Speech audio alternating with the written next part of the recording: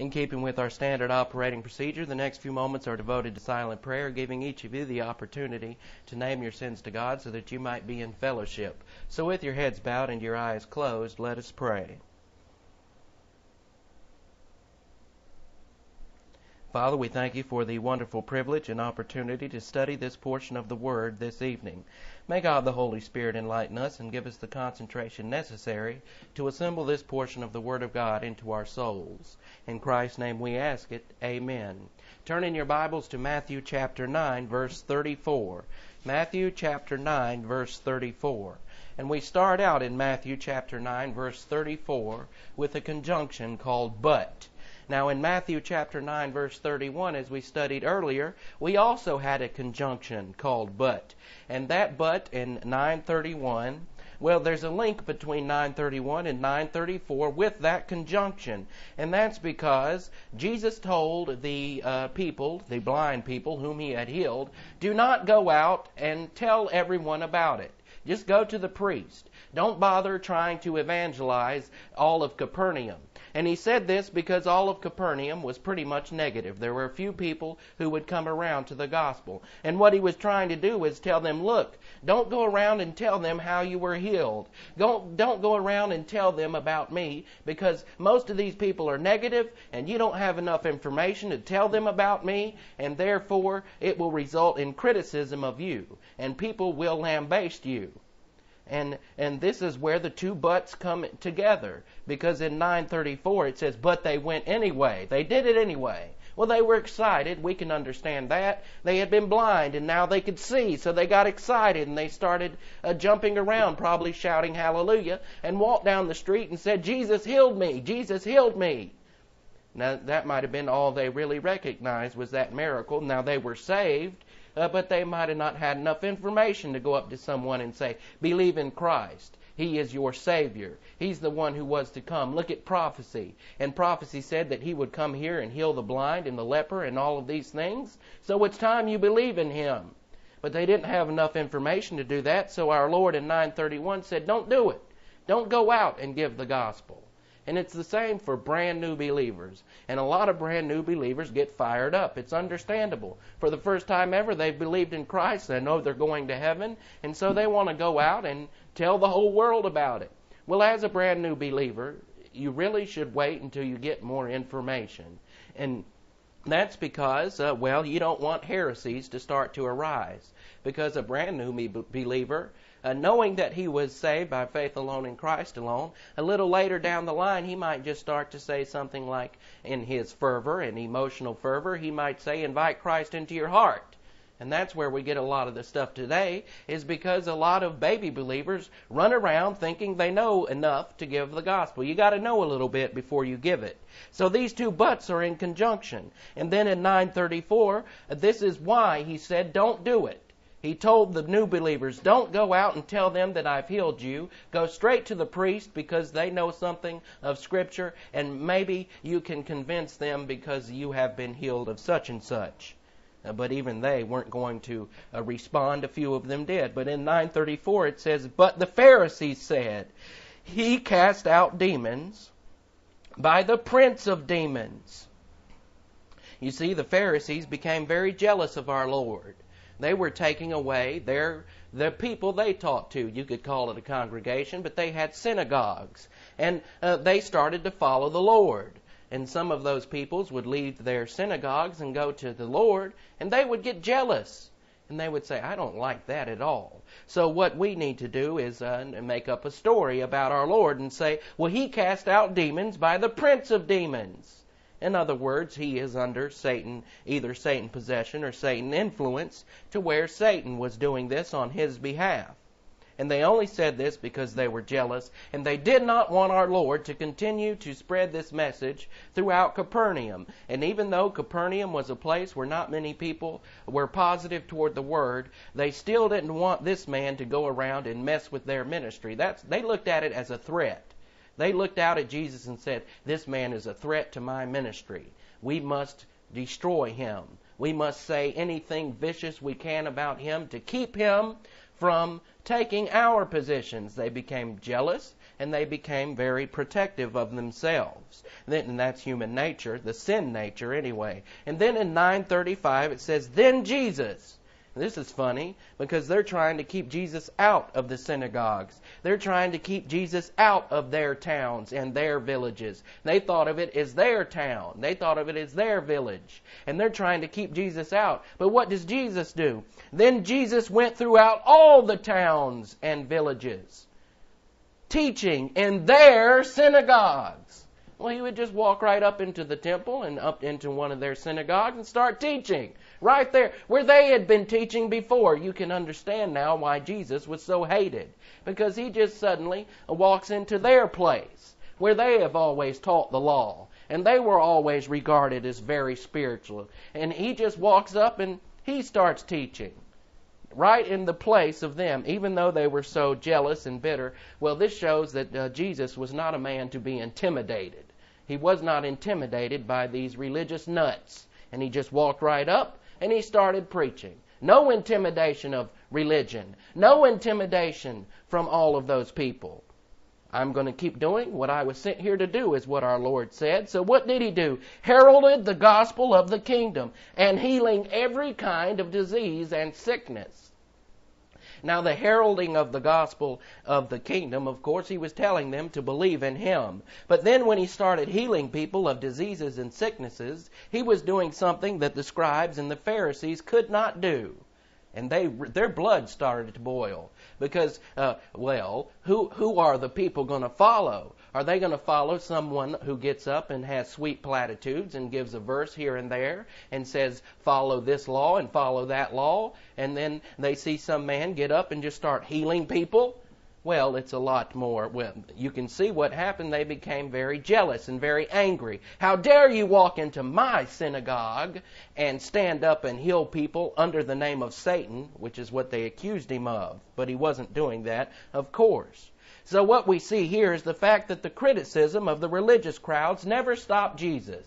He wasn't intimidated. He didn't care. He had a mission to follow. And it was a mission that God the Father had given him, and he was going to complete it, despite all of the things that were going to come his way. And despite they would call him a drunkard, despite the fact they would call him someone who slept with prostitutes despite the fact that they would call him somebody who would uh, associate with tax collectors. That doesn't have much implication today, but back then that was a huge implication of well, they would want to destroy him for that. The tax collectors had authority over the Jewish people, and they hated the authority of the Roman Empire, and uh, they would go around and collect taxes, even skim a little off the top for themselves.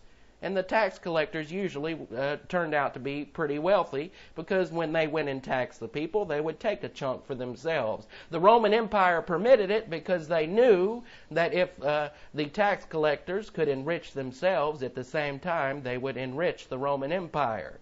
So they just, uh, well, they, they, they knew it wasn't ethical, but they just uh, turned their head, as it were, and said, well, they got to do it because we need the money and they need it too, so let them do it. And so the tax collectors were hated, yet that's who Jesus hung around, and they all used that against him. But we'll see that it really didn't have to do with the lifestyle of Jesus in the next message, because we'll see that they criticized John the Baptist just the same. And John the Baptist never took one drink of wine. He never hung around tax collectors. He never hung around prostitutes. He was out in the middle of a desert by himself and he didn't even do all of these socially unacceptable things that the religious people thought were socially unacceptable. Yet they criticized him too. So it's not a matter of personality, it's a matter of the message. And that's what we're going to get uh, the point across here uh, through all of these verses. Doesn't matter that Jesus drank. Doesn't matter that Jesus hung around with tax collectors. Doesn't matter that Jesus hung around with the nefarious people of the day. He was giving them the gospel. So he didn't care, and he did it anyway, and he was criticized. But he would have been criticized whether he had that personality or a different kind of personality. 936. Now, this is uh, something that occurs here. Now, this is his ministry to the disciples. And we start to uh, get a glimpse of his ministry to the disciples because this is a type of parenthetical type thing. It's parenthetical because uh, what uh, Christ is saying is uh, I didn't do this ministry all on my own. What he's saying is, I didn't uh, come out here. There's no way he could have did it all on his own, even though he was the Son of God. What he's saying is, I had people helping me. The disciples. They knew enough doctrine where they could go out and help me out in this ministry. And he had people helping him behind the scenes. And so this is like a parenthesis, and it's our Lord saying, look, this ministry too goes to the disciples, and it's not just me all the time. The disciples go behind the scenes and help out all the time. And while they may never get praised for it, well, this is the parentheses. This is a t- this is a way in which our Lord uh, on the side praised the disciples. You see, he had been ripping them apart before, telling them what idiots they were with little faith, and he would rip them apart constantly. And now he's uh, well, he's putting a little parenthesis aside and saying, "Look, these are my disciples. They stick with me all the time, and they're going to help me out in this. And it's not all me, even though he is the Son of God. He needed to have people with other gifts to help him out. The same holds true for a local church. If the pastor has no one behind him, it falls.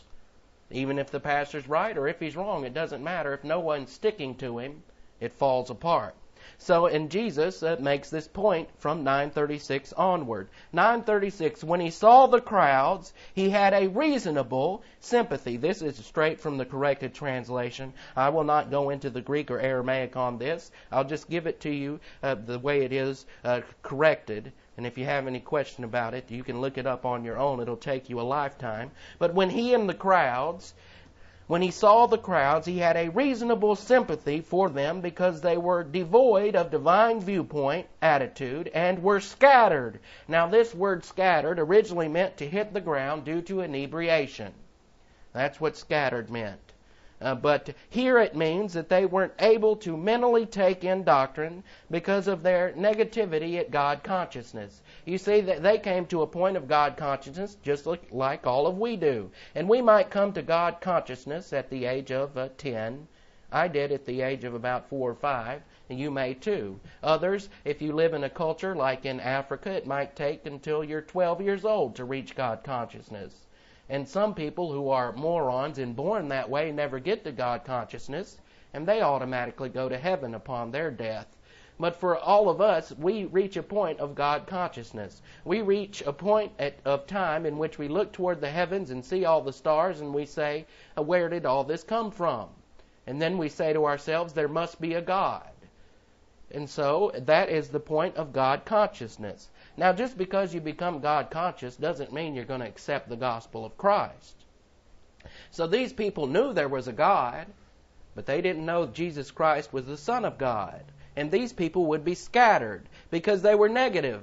They didn't care to learn about the gospel of Christ. They were negative at God consciousness. And the reason why is because they were in a religious area, Capernaum a religious area, a place where religion thrived. And wherever religion thrives, grace does not. That is, unless there's a breakthrough. And Jesus Christ is trying to make a breakthrough in this religious area. It's phenomenal how much time he spent in Capernaum, a place where people hated him. Yet he stayed there and stuck with it until he was called to another place. And he stayed there because he knew these people need to be shocked out of their religion. So we need to take some points on religion, and that's because, well, Jesus Christ is presenting himself to religious people. People who have, well, they've already uh, decided in them, and they've already decided themselves, we're holy enough. We don't need a Savior. That's what they say to themselves. And then Christ comes along. This is why he's been so tough lately. This is why he's been ripping people to shreds lately, is because he's been dealing with religious people. Now, point one religion is man seeking the approval of God through his own works. Religion is man seeking the approval of God through his own works. And this is what all the people in Capernaum were trying to do seeking God through their own works. If they just follow the Mosaic law, they'll be all right. If they're just a good father to their children, if they're just a good husband to their wives, if they follow the Mosaic law, then surely God would approve of them. That's religion. That's not true. There are a lot of unbelievers who treat their children and their spouses better than believers do. And that's not the issue. But religion makes it the issue. So religion is man seeking the approval of God through his own works. Point two Christianity is God seeking man through the work of Christ on the cross. Christianity is God seeking man. It's God seeking us. In religion, people seek God. In Christianity, God seeks us. That's why God calls us to salvation. That's why we don't invite Him and He invites us. So Christianity is God seeking man through the work of Christ on the cross. That's also found in Ephesians 2 8 and 9. It is by grace you have been saved through faith, and that not of yourselves. It is a gift of God, not of works, lest any man should boast. So it makes it very clear it's not on the basis of our works. Isaiah 64 6 says that all of our righteous deeds are as filthy garments. In the Hebrew, it says all of our uh, righteous deeds are as menstrual rags. Makes it even more disgusting, but that's what they are. And that's how it comes out in the Hebrew. So Christianity is God seeking man through the work of Christ on the cross. Point three religion is the devil's ace trump. Religion is how the devil clouds the way of salvation. It's also how he clouds the way of our Christian way of life. And we walk away thinking our Christian way of life is to do good deeds, to do good works, to be good. Well, how do you be good? There's a way to have divine good of intrinsic value, and that is through the protocol plan, but not through all of this religion not through all of these human works and human sacrifices, asceticism. People give up things thinking that that will uh, please God. And they think the Christian way of life is to give up smoking, to give up drinking, to give up chewing, to give up all of these things that aren't even listed in Scripture. And they think that's the Christian way of life. And it's not, it's not even close. Anything an unbeliever can do is not the Christian way of life. Think about that for a moment. The unbeliever can stop smoking. Does that, ma- does that mean that since he's stopped smoking, he's living the Christian way of life? No, he's an unbeliever. An unbeliever can stop drinking. Now, I'm not advocating drunkenness. Not at all. And drunkenness would take you out of the Spirit. You'd be filled with the spirits and not the Spirit. Mm-hmm. And that's what drunkenness is all about. But uh, it's a sin, and you rebound and you keep moving uh, if you're a believer. But an unbeliever can say, I'll never drink again, never touch a drop. Well, so what? You're still bound for hell unless you believe in Christ. Now, that's not, to th- that's not to say that no one needs to have a lifestyle change when they believe in Christ. Uh, uh, you do, probably, most likely. And that lifestyle change comes from post salvation epistemological rehabilitation. It comes from learning the Word of God, not from some change of behavior in human energy. This is all spiritual, a divine energy, a divine power, something far above and beyond what we could ever do. Yet it's hard for religious people to break from that because when you say uh, in yourself, I'll stop doing this, you're giving credit to yourself and all the credit goes to God, and religion always gives credit to man, which means religion is arrogance. Christianity is based on humility, not arrogance. And it's antithetical. So religion is the devil's ace trump because it's antithetical to Christianity. That means opposite of. And if you have to write a report in school, uh, well, write this word down antithetical. A N T I T H E C T I C A L. Anti, well, did I spell it wrong? A N T I, antithetical. T H E C I what? What is it? Usually I have to write it down.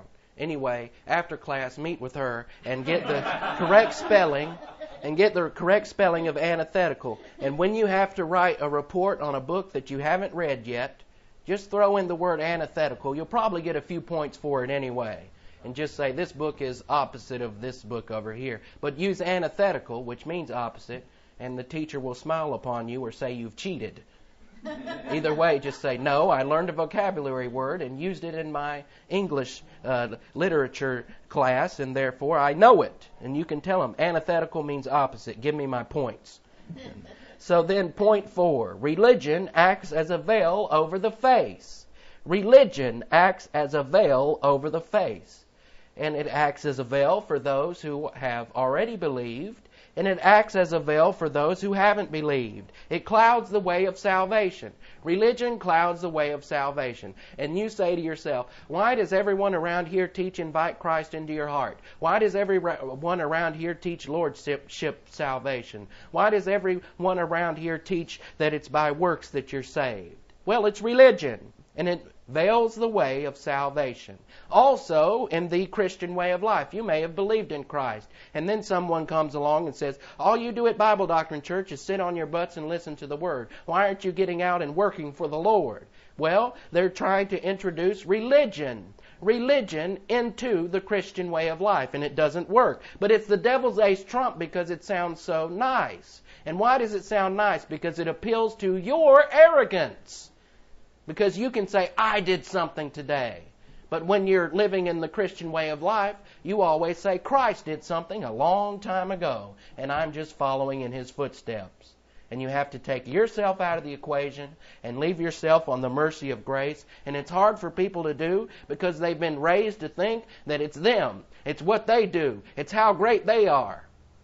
And this is why Matthew gets so tough it's so tough for some people. And I told you when I started Matthew that this would weed out legalism. If there was any anyone here, never accused anyone of it, but if there's anyone here who ever had an inkling toward legalism, they would re, they would either react to what is going to happen in Matthew or they're going to respond to it.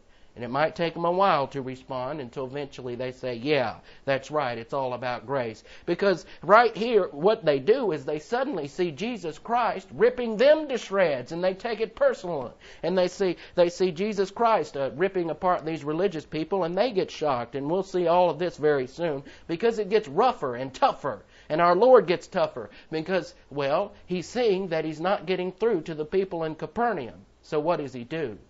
He gets harsher with them, tougher, stronger. He doesn't lighten up, thinking he'll bring them along. They're sealed. Their consciousness their consciousnesses are about to be sealed with religion, and you have to break through religion with a fist, not with a soft glove, but with a fist. And so we have point of 5. Religion appeals to the arrogance of man, making it hard for a religious person veiled by arrogance to let go of what he sees as his own human ability to save himself. Religion appeals to the arrogance of man, making it hard for a religious person veiled by arrogance to let go of what he sees as his own human ability to save himself. Now, I understand there's a few churches around here who might teach uh, grace as the means of salvation. And, and people, uh, lots of people around here are saved in that environment. But once they're saved, well, they go straight back to religion, covenant theology. And they go straight back to don't mow your lawn on Sunday. And don't do this and don't do that. Weighing people down with heavy loads of burden. But that's not the Christian way of life. We were saved by grace, so, a fortiori, with stronger reason, we live by grace. And that is how it works. And it's good that people get saved because they're not going to hell. But it's terrible when they go the way of religion. But it's happened since uh, the Apostle Paul was around. Every time he went out to teach grace, a whole group of people would come right up behind him and try and, and uh, all of a sudden, they were strong on grace to start with. Now, all of a sudden, idiotic men are circumcising themselves and going through a lot of pain and asceticism and self sacrifice, completely rejecting the post salvation spiritual life. Point six, Christ had reasonable sympathy. This is what we get from 936. Christ had reasonable sympathy for them because he could foresee uh, two different things. Our Lord could foresee that Israel's about to go under the fifth cycle of discipline. And he could foresee that when he went to a place like Capernaum and met such resistance, he could see that the fifth cycle of discipline was drawing nigh. And they weren't going to listen to his message of grace. Secondly, he could see them at the last judgment in which he has to cast them out personally into outer darkness and where there is wailing and gnashing of teeth. And no one wants that for anyone, including Jesus Christ, the Son of God. And God the Father's will is for all of us to believe because God the Father doesn't want to see any of us end up in a place where there's wailing and gnashing of teeth. But it occurs because of volition. So he saw these things coming. So he had reasonable sympathy. It would be like uh, looking over this land today and you say to yourself, man, it's about to go under, I can tell. No one really cares for the word, I can tell. And guess what? We have sympathy for it. We might even cry about it as the Apostle Paul did when people wouldn't get with the word. And we might uh, go back and reminisce, look at September 11th, and know that it's going to be seven times worse when the next cycle comes along. And we might say to ourselves, that's horrible, I sympathize. Well, you can sympathize, but it's not going to stop what's going to happen. And even Christ sympathized, but he, he, not even he himself, as the Son of God, could stop it because he has to follow his own integrity. And when people rejected him, he has to says it was their choice, even though he loved the Israelites. And he wanted them to continue as a client nation. And he, if it were up to him, he would have come down and brought the millennium. But you see, uh, as per the angelic conflict, they had volition. And they had to make their own choice. And really, what we have here in Matthew is a choice for them. All of you, or most of you, accept me and believe in me and get with the Word of God, and we'll go straight into the millennium together. And then I will come with power and show you that the Romans have no power over you. But they didn't do that. They did like we do today and say, ah, phooey, I'll get with it later. Or I won't get with it at all, I don't like it, or whatever. And that's, that's human volition, freedom.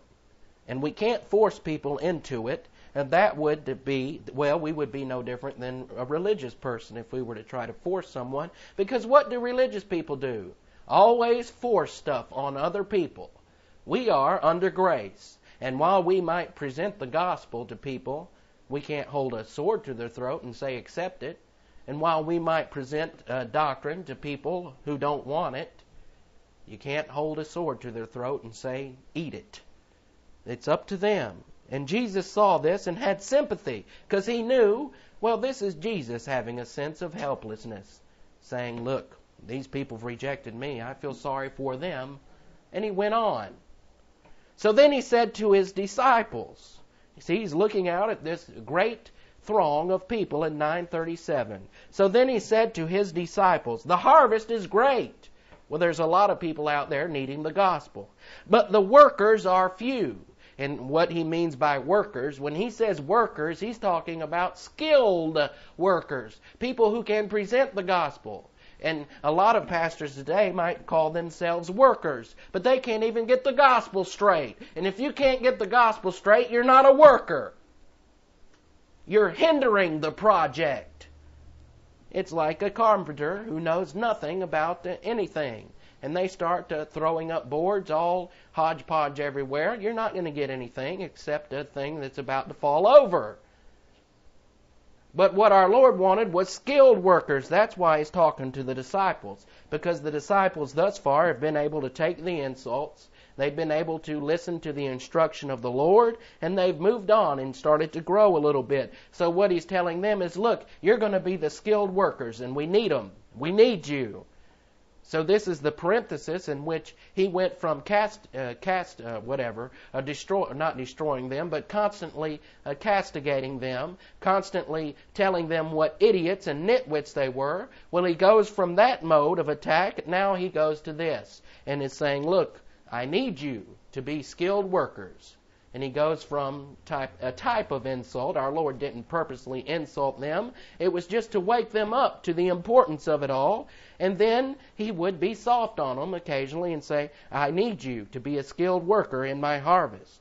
So this is a reference, and we'll just take one point out of 937. This is a reference to skilled workers. The harvest is great refers to all the people who have never heard the gospel. The workers are few refers to the fact that there are very few capable of giving the gospel correctly. And the same holds true today. Very few are capable of giving the gospel correctly. 938. So ask the Lord of the harvest. Who is the Lord of the harvest? God the Holy Spirit is the Lord of the harvest, but we must be careful in interpreting this because we never pray, remember, to God the Holy Spirit. All of our prayers are always addressed to God the Father. This is in a passive voice. And this means that, well, he's saying, pray to God the Father, that God the Holy Spirit will direct you to people who need the gospel. That is what it's saying. It's not telling you to ask the Lord of the harvest directly. The Lord of the harvest is the Holy Spirit. He's the one who always has common and efficacious grace. He's the one that reveals the gospel message to the spiritually dead and makes it understandable. And He's the one who makes it efficacious for salvation when they have faith alone in Christ alone. So God the Holy Spirit has common and efficacious grace. And so what we pray is to God the Father. And this is what it means. And it's a legitimate prayer. It's a legitimate prayer that we would ask God to open the doors for us to witness accurately when it comes to those who are seeking the gospel. And you might pray just the way I pray nearly every night when I uh, decide to pray in this manner and you pray, Father, if there's anyone in my vicinity that is willing to listen to the gospel of Christ, send them to me, and I'll give them the gospel as a worker of the harvest, as a worker in the harvest. And then God the Holy Spirit will uh, send that person to you whom, who wants it, and then they get common grace and they understand it. And then they get a chance to believe it. Sometimes they believe it, sometimes they won't, but it's no skin off your back it's uh, it's it's really dependent upon them. So either they they will accept it or reject it. So ask the Lord of the harvest, God the Holy Spirit, to send out workers into the harvest. And I described to you exactly how to pray in that manner, which would be legitimate. And I've prayed it before, and I've had doors open to my friends. I had one friend in high school who was a genius, still is a genius. He's still alive, as far as I know. I saw him at the airport a couple months ago. And uh, he, a genius. And I gave him the gospel. And it was a time for him to hear the gospel. And he understood it. I could tell he understood it because it bothered him. And then he rejected it. And uh, now he's a flaming atheist. Well, that's the way it goes. And not all the time, God the Holy Spirit might send to you someone who will listen to it and get to understand it, but you see, what happens is when they go to the last judgment, they'll come up with all kinds of excuses. And he will say, You were told the way of salvation and you rejected it. So to hell you go. And that's where they go. And so, uh, oftentimes we'll pray these prayers, and some people will come along who won't believe. But it's not a time to fall all apart. It's a time to just uh, respect freedom and say you have a choice and have sympathy at the same time. I feel sorry for them. You don't tell them you feel sorry for them, but you say to yourself, I feel sorry for you because they didn't accept the gospel. But you gave it to them. You did all you could do. Now in chapter 10, we get to the representatives of the king. And he's going to uh, talk more to the disciples. And he's going to bring out the disciples more because he needs some helpers. What he's telling them by saying there needs to be workers in the harvest. He's saying, I need you. Look, what he's saying is, look at all these people out here. They all need the gospel. Even though I'm the Son of God, I can't do it all on my own. I need your help. I need you to help me. Humility from the Son of God. And so he calls his 12 disciples and he calls them to be apostles eventually. And then in chapter 10, verse 1, it says, Jesus called his 12 disciples and gave them authority over unclean spirits so they could cast them out and heal every kind of disease and sickness. So they received this not to focus attention on themselves, but to focus attention on Christ. Today, when we see faith healers, what are they doing? They're focusing attention on themselves. Oh, they might get up and they might say, in the name of Jesus, and bop somebody on the head. Or they might say, Jesus this and Jesus that. But they're bringing attention to themselves, and you know that by how much they fill up their wallets with money. And they do it for a profit, and they're disgusting. They are workers for Satan not for Jesus. There is no gift of healing today. We know that. And these people are frauds. And when they get up, they bring attention to themselves. If they weren't bringing attention to themselves, then they wouldn't fill up stadiums like the Charlotte Stadium or the one down in Atlanta or anywhere they go. They fill them up. And idiots and nitwits come out to listen and watch them uh, heal people. Well, if they are healing people, it's of the devil, it's not of them. And they are not focusing anything on Christ because they never give the gospel. I've watched some of these things. And I've often said to myself while I'm watching it, I wonder if this man who's bopping people on the head ignorantly, or even if he's under the uh, influence of demons, he definitely is under the influence, maybe even the possession. I wonder if this person will ever give the gospel. They never have, not so long as I've watched them. They've said Jesus this and Jesus that, but they've never given the gospel. So he gave them these things not to focus attention on themselves, but to focus attention on Christ. So, uh, so when they would go out, they would say, uh, Jesus Christ is the Son of God, believe in him. And then a, a sick person would come up and say, I believe in Christ, and bloop, they would heal them. And that was part of showing the fact that Jesus Christ was truly the Messiah. And that is how they functioned. Now we have 10 Now these are the names of the 12 apostles. These are the names of the 12 apostles. First, Simon, called Peter. Peter's one of my favorites. And Andrew, his brother. James, son of Zebedee, and John, his brother. Philip and Bartholomew, Thomas and Matthew, the tax collector, James, son of Alphaeus, and Thaddeus, Simon the zealot, and Judas Iscariot, who betrayed him. Now we see a listing here of Judas Iscariot as an apostle, and this has caused confusion as of late. And that's because, well, it's no different than saying, well, any let's say we have a 5,000 member church and they all join up to be members. That doesn't mean all of them are saved. There, of course, are a lot of people in churches who've never been saved. And they never accepted the gospel. They just hitch on to something because they like the social life, or they hitch on to something because uh, they might think they have some money involved in it. Well, this would be the way Judas Iscariot would think. Judas Iscariot, as an unbeliever, hitched on to the ministry of Christ, not because he was interested in the gospel, but because he was interested in making money. This man had a problem with money lust as an unbeliever. Believers can have it too, but he had it as an unbeliever. And he hitched onto that ministry thinking there was a lot of money involved because he saw all the throngs of people around Jesus and said, Man, I'm going to get a lot of money for this. And we note that later because of what he said to the woman who was pouring expensive oil on our Lord's feet. He said, Oh, we could have given that to the poor. What he was really thinking is, Oh, you could have given that to me. You know, I could go out and spend that money better than pouring it on the Lord's feet. What a waste is what he was thinking. And he never ever, not through all Matthew, ever addressed Jesus Christ as Lord. He always said, Rabbi, which is teacher. It would be an insult to call our Lord teacher or rabbi. He wasn't like all the other rabbis. He was the Son of God. And Peter would call him Son of God, and the eleven and the ten others, including Peter, would call him Son of God. But Judas Iscariot always would say, Rabbi, Rabbi, Rabbi. Never once said that. So why is he included as part of the twelve? It's by name only.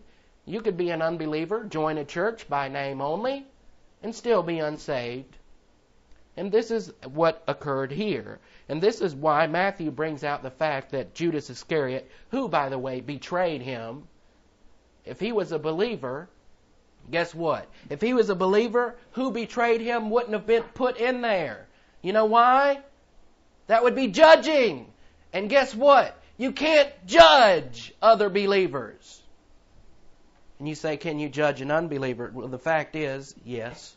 The fact is, yes. But we never judge anyone because we don't want, because we don't really know who's a believer or not. But Matthew goes ahead and says who betrayed him because he knows he's an unbeliever. He would have never said that if Judas Iscariot had believed. Because guess what he could have said? Now these are the names of the twelve apostles. First Simon, called Peter, who betrayed Christ three times. And he did. He did betray him three times. He said, No, I don't know the Son of God. And then he got mad, or somebody else came up and said, Do you know this man? He says, No, I don't know him. And then the third time they got around to him, he was getting so frustrated, he cussed him out. He said, I don't know the so and so blankety blank blank. Cussed him out. Betrayed him three times, and then the cock crowed. But Matthew doesn't talk about Peter because Peter was a believer. And he doesn't say Peter who betrayed Christ three times or who denied Christ. Didn't really betray him, just denied him three times. So he brings out Judas Iscariot who betrayed him because he is the unbeliever of the group. Otherwise, he couldn't judge him.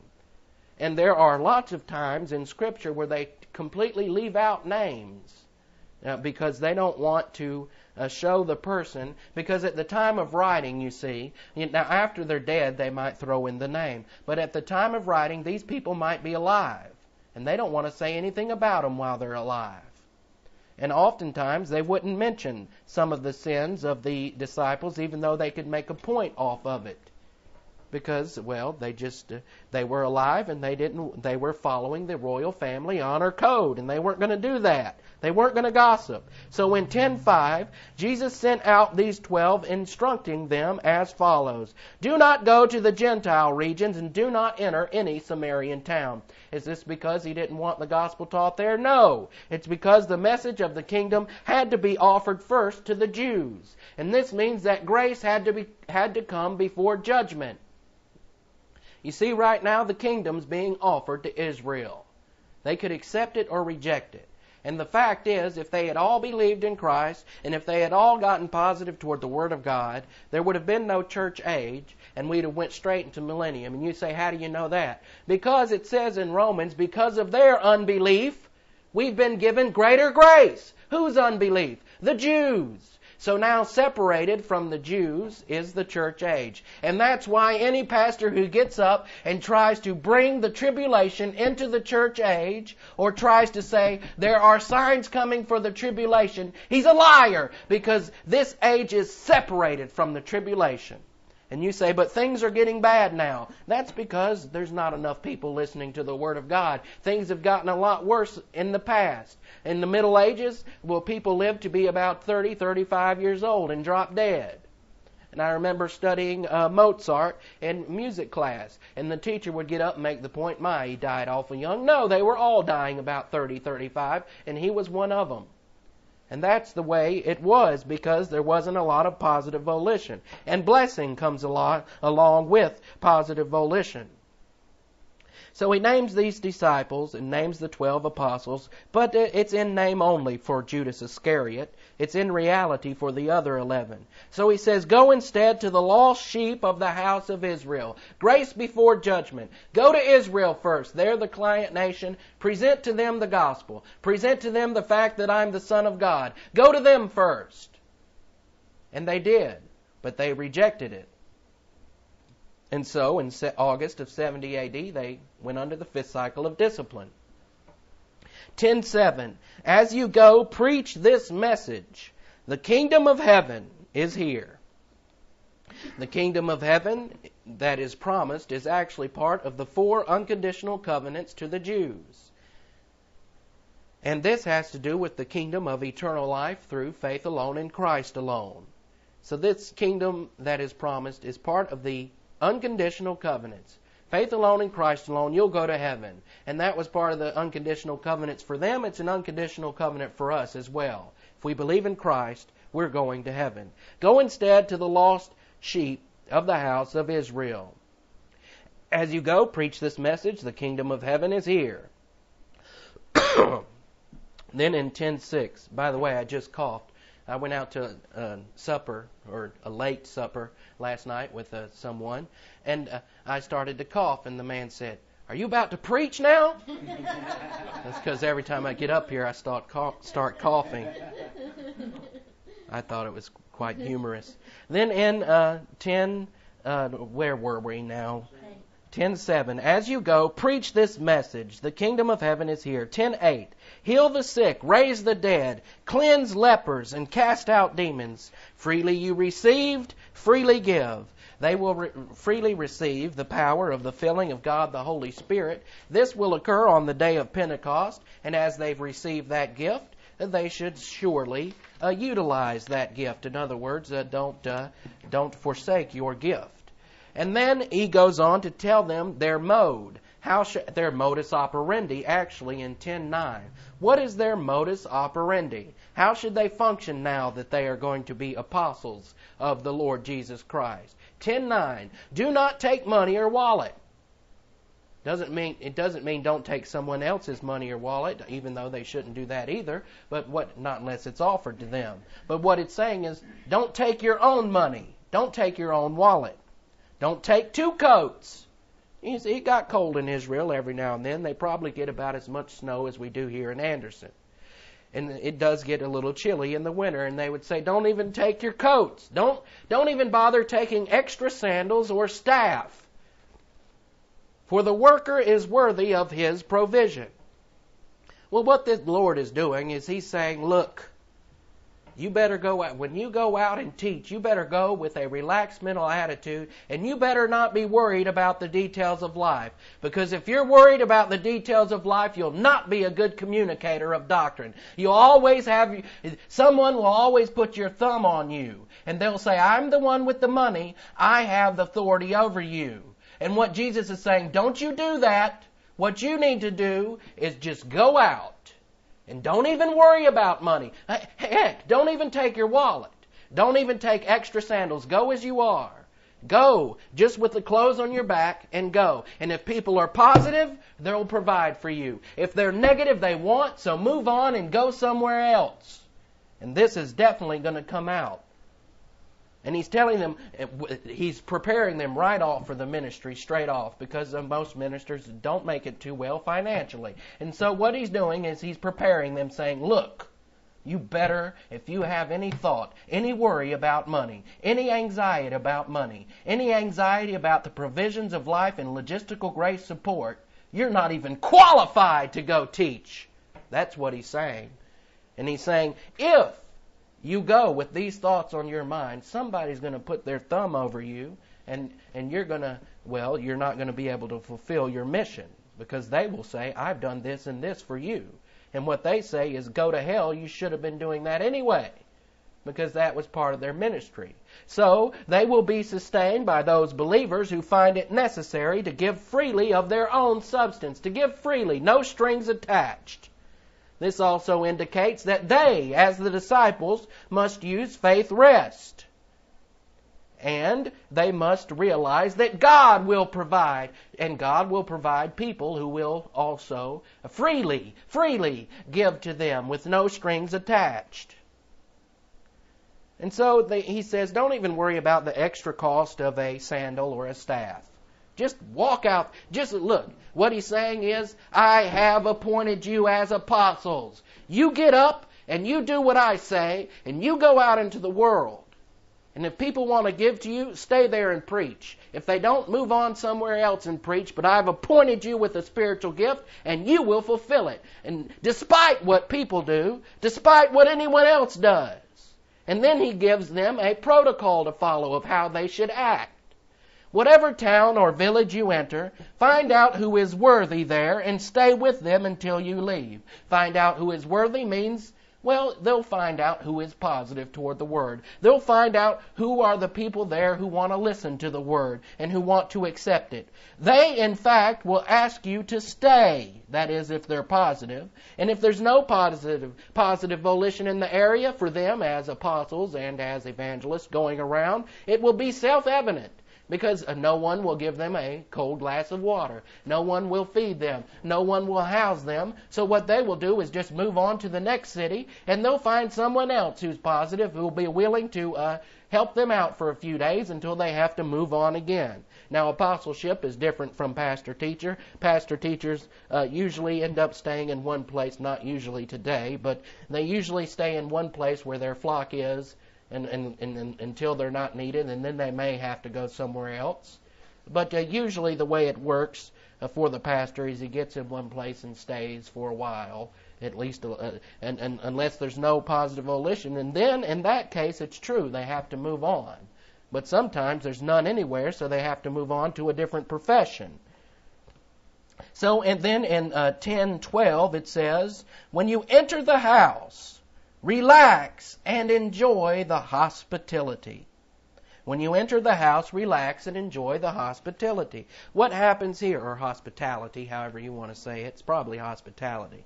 So, what he's saying here is when you, when you go there, you'll find people who are positive toward doctrine. And he's not telling them go into the city and beg. He's not saying go into the city and say, I need food, water, and housing. Who's gonna, who's gonna come and give me food, water, and housing? He's not saying that. He's saying you'll go there, you'll give the gospel, you'll give Bible doctrine. Someone will recognize it and say, hey, come over to my house tonight. I'll give you a hot meal, something to eat, and you can stay here until it's time for you to move on. And what does our Lord say about it? Does he tell them to uh, get on their knees and start thanking them profusely? No. Although they could say thank you would be uh, natural and part of protocol. But what he says is relax. They're doing it for a reason. It's reciprocity. You're giving them the gospel and doctrine, and they're giving you housing, shelter, clothing, food, whatever you need. And what he's saying is relax. You give them doctrine, they give you the means to preach it. And just relax in it and don't even worry about it. And that's why he tells them to relax. Because one thing that any pastor and evangelist always faces is, I just can't make enough money here. I got to do something else. No, relax. If it's if people are positive, they'll provide. provide. Now, and then you say, well, the funds are gone. Well, it doesn't mean they were all negative. It just means it was time to close up. Maybe there was no purpose in it, and that's not an insult to anyone. If it this if this church ever closed up, it wouldn't be an insult to any of you because sometimes we just don't have the means. And that's uh, an effective way for God to shut the door. But it's nothing to worry about, see? And if the funds are gone, they're gone. If they're here, they're here, and we'll just keep going. Now, I'm not begging for money. I'm doing all right, by the way. So don't uh, don't worry about that, and don't think I got to dig into my wallet and put a whole bunch in that little pla- or whatever box box that cardboard box that is. Don't think that. I'm doing just fine, and I'll be fine as long as the Lord wants me to do fine. And you give on your own free will and and and you give with no strings attached, and I take with no strings attached, and that's just the way it goes. So then in um, two. 13, and if the house is worthy, let your blessings come on it. But if it is not worthy, move on. In other words, if those people are positive toward the word, stay there. If they're negative, get the hell out. Why would you want to hang around people who are going to be critical anyway? And who are going to try to hold their thumb over you or do whatever they need to do. Well, he's saying if they're positive, stay. If they're negative, get out. And then in 1014, and whoever will not welcome you or listen to your message, shake off the dust from your feet. As you leave that house or that town. Now, this is uh, something that we have to get from ancient history. The dust from a heathen country was unclean. And uh, if you were, if you had been through a heathen country as a uh, as a, a, person in Israel, and you had walked through that heathen country, maybe you went to the heathen country to do business. And there wasn't nothing wrong with it per se, but you had walked onto their soil. And by the Mosaic law, if you come back to your own land, you can't uh, give a sacrifice for a while until you've shaken the dust off your feet and until you have uh, done all of that because it was a heathen, unclean country. And, it, and they didn't do this out of some mysticism. This was a way to teach doctrine to say, look, Israel, you're set apart. You're not like those other countries. You're different. And there are all types of uh, moans and groans in this country that we want to go like our motherland did before England. They went toward socialism. Guess what? They have socialized medicine. And now a lot of people in this country see the high bills of medical cost. I've seen them firsthand. And they say the government should pay for that. We're going the same way of our motherland, yet we're set apart. We don't need that junk. Rest in the Lord. He'll provide. We don't need government support for everything. Well, this country was founded on hard work, a hard work ethic. And if you ended up getting sick and couldn't pay for it, you died. But it made us a tough country. And we didn't ask Uncle Sam for everything. And every time we went into poverty, we didn't say, Uncle Sam, get me out. Now, I know there's laws today, and this isn't pointed toward anyone here. There are laws today that were put into effect a long time ago concerning bankruptcy and everything else, and those are legitimate because those banking institutions know the risk when they lend you the money. And this is already put into our laws. This is already there. And so when you go to a bank and you pay a certain interest rate, you're paying that interest rate because they have known in advance that there's a risk to loaning money. So it's part of our laws. I see nothing wrong with bankruptcy because it's part of our laws. I absolutely see nothing wrong with it. They know going into it. And you say, well, some people use that as an excuse. So what? That's their problem. Some people don't. Some people really need it. And back in England, they had, well, they would send you to jail if you couldn't pay anything back. Now, what good is that? They could have been a law abiding citizen, end up in jail, and they can't even pay anybody back anything. Well, there's no, there's no real. You see, and they had a grace system set up in Israel as well. Every 70 years, and all the property would go back to the original owner. It represented grace. So we can look at bankruptcy in our country as a simple grace law. So, and I know Jews, I, there's a Jew on the radio talking all about bankruptcy, how bad it is, etc., etc. And, uh, well, she's a Jew, and she wants to function uh, extraordinarily by the law. But these laws are set up in our country for a reason. And it's a grace law. I see no problem with it. So I, I say that because uh, I know a lot of people going through problems. and have to do things like that. And I say that because I didn't want you to uh, get upset and think that I was pointing it out at you. I wasn't. So when you enter the house, relax and enjoy the hospital- hospitality. And if the house is worthy, let your blessings come on it. But if it is not, move on. And whoever will not welcome you or listen to your message, shake off the dust from your feet. This would be the dust from a heathen country, was unclean, and it caused defilement, as is covered in the Mosaic law. Therefore, when you shake off the feet, when you shake your feet and you do like that and you shake the dust off, this was an indication of a cursing and they would, uh, by doing this, you will curse the household or the people who reject you. Now, this was for the disciples. That doesn't mean we can get all arrogant and just uh, every time somebody says something we don't like, we shake the, our feet and say, "Curse you!" No, it's not the same as it is then. Uh, but then they could do that, and our Lord's telling them, "Look, when you leave that house and if they've rejected you, shake the dust off your feet, and that will represent a cursing. And he will fulfill that cursing in August of 70 AD, because they had to do that many times. Heck, Peter was beat up so much, so was the Apostle Paul and all the others, beat up all the time, because they would present the gospel. I tell you uh, the truth. It was more bearable for Sodom and Gomorrah than it will be on the day of judgment for that town. Now, one pastor has said before, I won't tell you who, I mean, he's a good pastor otherwise, but he said, this must mean there are degrees of hell. This must mean that uh, some people, like uh, uh, the religious people, they must go to hell and really burn, while the others, like in Sodom and Gomorrah, they just burn a little bit.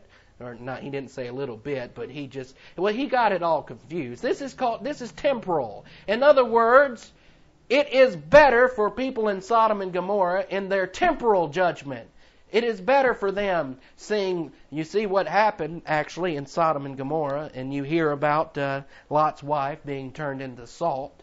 When she turned around, guess what? She didn't really just automatically turn into a form of salt like herself as they show in the movies. And you might think that, and I understand why. They show it all the time, and I used to think it for the longest time. That she turned around and poof, she was salt and she froze just like this. I thought that for the longest time until I heard otherwise. What really happened was they had to book. You know, the Lord was saying, Get out of there, don't look back. They had to get moving. And when she had to turn around, she had to slow down. You can't run as fast when you are turning around. So she slowed down and turned around, and there was fire and brimstone coming up from the earth. And so what happened was it fell on her. And that's what uh, turned her into salt. all this fire and brimstone fell on her and killed her, crushed her. And yet Lot and all the others were still going full blast straight ahead. So they weren't affected. And that's exactly what happened there. But that was temporal judgment for Sodom and Gomorrah for being a bunch of homosexual unbelievers. It was a judgment on homosexuality. God does not permit homosexuality. He likes the divine establishment and the divine institution of family and of marriage. It's not Adam and Steve, it's Adam and Eve, and that's the way God made it. But Sodom and Gomorrah, they were all, uh, well, they liked uh, sex with uh, the same you know, male, male, female, female, and that's the way they did it. And they were destroyed for it, but that was temporal destruction. And he wasn't talking about the eternal judgment in which those people who were unbelievers in Sodom and Gomorrah will receive the same eternal judgment as the religious people. What our Lord is doing here is using comparison and contrast. He's saying, You always have learned in your Sunday schools, as it were, Sodom and Gomorrah fell all apart because of homosexuality, and that's true. But I tell you the truth, unbelievers. Your judgment's going to be worse than theirs. In other words, you're going to hell. And that temporal judgment is nothing compared to an eternity in hell if you don't wake up. So we see how tough our Lord is doing, uh, our, our Lord is being, and we see how tough He is in actually uh, making a comparison and contrast in saying uh, they always knew Sodom and Gomorrah was a terrible place. And what our Lord is saying, you're going to hell. You talk about Sodom and Gomorrah, you're all going to hell because you've rejected me. So he was tough with them. They hated him, and they hung him on a cross. So, with your heads bowed and your eyes closed, Father, we thank you for the wonderful privilege to study this portion of the Word. May God the Holy Spirit enlighten us to these things so that we might grow in grace and in knowledge, so that we might come to fulfill the very purpose for which we are put here on the earth, which is to glorify you. In Christ's name we ask it. Amen.